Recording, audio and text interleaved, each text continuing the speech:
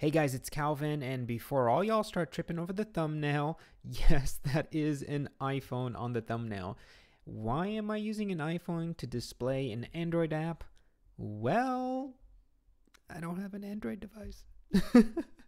and I know half y'all just gonna stop watching the video right now, but for the other half, we're gonna go ahead and jump in and start this tutorial. So we're actually gonna build this pretty groovy looking Hello World app on this Android emulator using a relative layout and a text view and some custom fonts, a custom color, and all that fun stuff to build this really cool, very simple app. So let's actually go ahead and get started. So I'm going to close this preview down because we know what it's going to look like.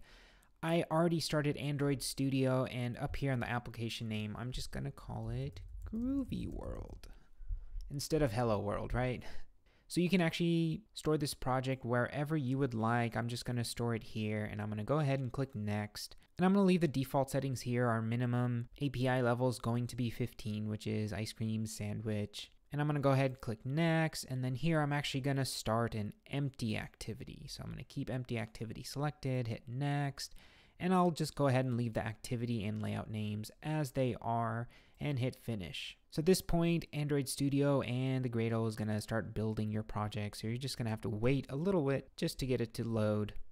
So there we go. This project is up and running. The default activity here is main activity. I'm actually just going to go ahead and close that because we're not going to actually work with any Java code here. We're just going to work in XML. Yes, we are going to use an XML. We're not going to do that drag and drop stuff. I ain't about that life. We're going to use XML. We're going to write XML and it's going to look pretty cool. So here we are, our XML file. This is what tells our app what it's going to look like. And for whatever reason, Android Studio defaults to this constraint layout. I'm actually going to change this to a relative layout and use that in our Android app. So in order to do that, I'm going to look here at line 2 and everything before this XML and S, I'm going to go ahead and delete up to that bracket and I'm just going to start typing relative layout and then hit tab to autocomplete and it's also to change the closing tag to relative layout as well. Now so far if you want to preview what your app looks like you can just go ahead and hit preview here and the preview pane opens. So right now we have this default text view here which I'm actually going to just get rid of because we're going to write our own custom text view. So there we go. We are using a relative layout. And what a relative layout is, is that it actually allows you to lay out the child elements. So any elements, text views, image views, whatever you want to put within this relative layout, you can lay them out relative to one another. So to other child elements or siblings or to the parent itself, which in this case is relative layout. So in order to get our app from this to this, we're obviously going to have to change quite a few things. So the first thing I'm going to do is change this blue background. So let's go back to Android Studio. Well, you see here that we have this little action bar, title bar, whatever it is. I don't want it, so I'm going to get rid of it. So what I'm going to do is go up here where it says app theme and then scroll all the way down and hit no action bar. So that's really good. It got rid of that action bar up top but if we actually run our emulator right now, so I'm going to go ahead and choose, I don't know, a 5x, Nexus 5x. And we see that here in the emulator, the emulator just started, the action bar is still there. So what do we do? Well, we close our computers, we give up, and we run away. no, I'm just kidding. What we actually need to do is, well, we just changed the preview here in XML Previewer, but we actually need to go into our app folder here, so make sure this is Android go to app and then go to our manifests folder and then open this android manifest.xml. The thing is we need to change the theme in the manifest to no action bar. So go back to the manifest file and right here on line 11 we see at style app theme. So I'm actually going to change app theme to no action bar. So I'm just going to start typing no action bar, and it is this first one right here. So I'm going to double click that to get it to autocomplete. And now if we run our emulator by hitting this green button, now we see that the action bar is gone. So that's great. So let's actually go ahead and change our background to blue. So let's go back to activity.main or activity underscore main.xml.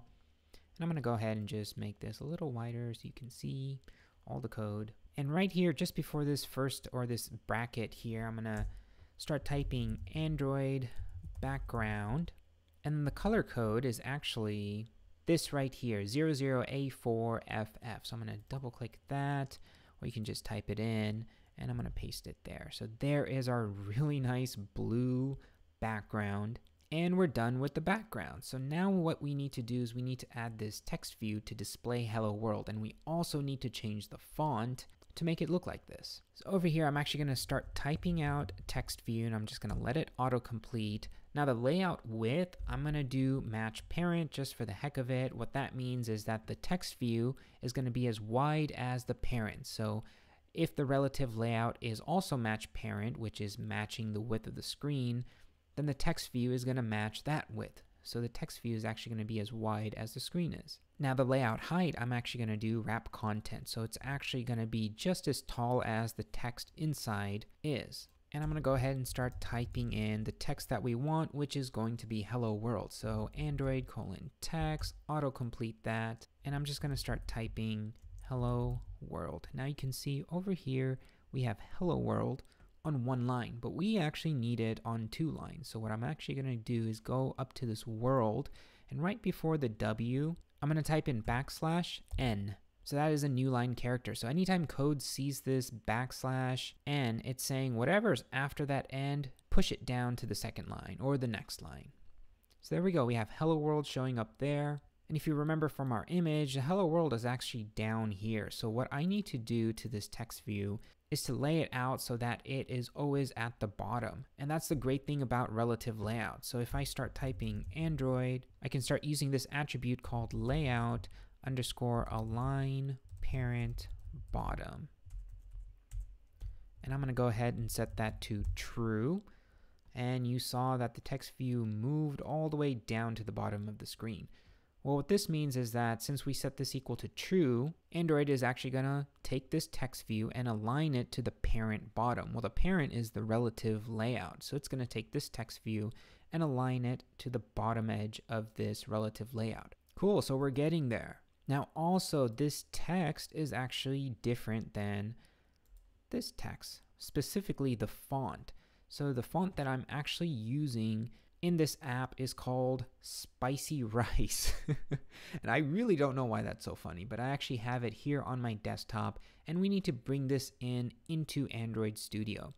So if you go back to this app folder and then to this resource folder, RES, I'm to select this res folder and then right click it and then go down to reveal in Finder. Now, if you're on Windows, I think it's called reveal in Explorer or something like that but you basically want to open the destination where that folder is located. So I'm going to go ahead and double click in res and here I'm actually going to create a new folder and call it fonts. I'm just kidding, we actually need to name it font. For whatever reason, Android Studio doesn't like that S. So I'm going to name that folder font, and then when I go back here, you see that the font folder is updated. So let's actually go back here to that font folder and what I'm going to do is I'm going to drag and drop this spicy rice into this folder. So this is a true type font and I'll go ahead and leave the link to this font down below. I actually found this on 1001fonts.com or 1001freefonts.com. I don't know, I'll leave the link in the description. So once you have your font in this folder, we can actually go back to our text view and we need to add another attribute. And this attribute is going to be font family. And you see here in the autocomplete, you can just type in at font spicy rice. So that at font means we're referring to a resource here in the res folder. So there we go. We actually saw the font being updated, but it is way too small. So we need to make that font a little bit bigger. So I'm going to go ahead and start typing Android text size. And I'm just going to make it, I don't know, 100 dp. That looks better. What about the color? Let's change the color. So this is kind of like a faded out white. I just want a plain white. So text color is at Android color white. There we go. That looks a lot better. Now, sometimes when you import custom fonts, fonts sometimes have their own internal padding, which can sometimes mess up the text views. So we're actually going to go ahead and get rid of that by typing Android include font padding and I'm going to set that to false. So I don't want Android Studio to include whatever font padding was already pre-built into this font when I imported it. Cool, so this is looking good. It's looking pretty close to what we have here. But you'll notice that the hello and the world is actually pretty close to one another. So we need to decrease the amount of line spacing between these two lines. So if we go back to Android Studio, that gap is pretty big. So I can start typing Android line spacing extra. And since I wanted to decrease the amount of space, I'm going to go ahead and type negative, and I found that 48 dp works pretty good. Cool, so just a little bit more. The hello world is too close to the left edge of the screen, so I'm going to go ahead and do padding left and make that about 16 dp. That looks pretty good actually. if you haven't done so, you can actually go up here to code and hit rearrange code. So it just rearranges the code in a little bit more cleaner, nicer way. So let's see if this works. It is pretty much done. I'm gonna go ahead and close this preview and I'm gonna go back to this emulator. I need to go ahead and hit run. And there you go. Hello World, this really groovy looking Hello World app. It was pretty simple to make. And I honestly feel like I'm back in the 70s. I'm just kidding. I, I never visited this set. But I hope you guys had fun making this app. I sure did. It was a really fun app to make. If you guys have any questions, leave them in the comments below. And tell me about your creations. You can go ahead and change the font, the color, all sorts of stuff to make some really cool looking text appearances. Alright, I'll meet you guys in the comments below, and I will see you guys in the next one.